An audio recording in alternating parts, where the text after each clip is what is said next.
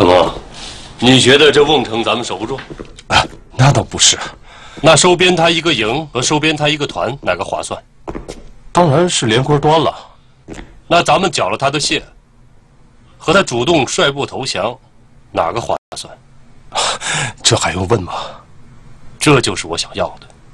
可是，你有把握吗？赵关克丢了瓮城，又这么莽打莽撞的，势必会惹恼赵恒帝。趁这个机会，我们劝他投诚，何乐不为？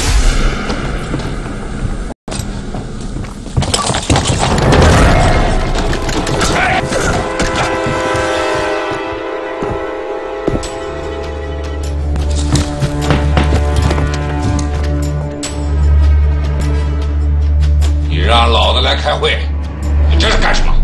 来，把枪给我卸赵关克，你以为你丢了瓮城就什么事都没有了？我告诉你，赵司令很生气。他生气，老子更生气。哼，失责的是你，我不是你是谁？老子玩命的在守着啊！粮食粮食不给，装备装备不给，援军援军不来，你让老子守个球啊！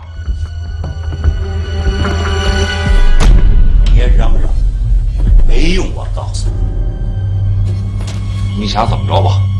想怎么着？怎么处置你？不是我说了算。我可是来执行赵司令的命令。看好了，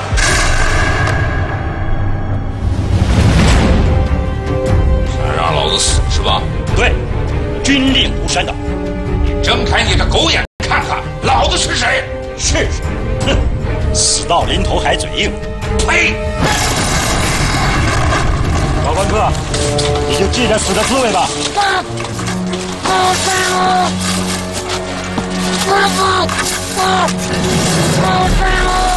我奉劝你下辈子，我生别再当兵了，还是做个土匪吧！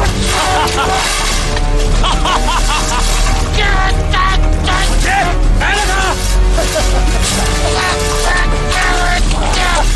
哈哈哈哈哈！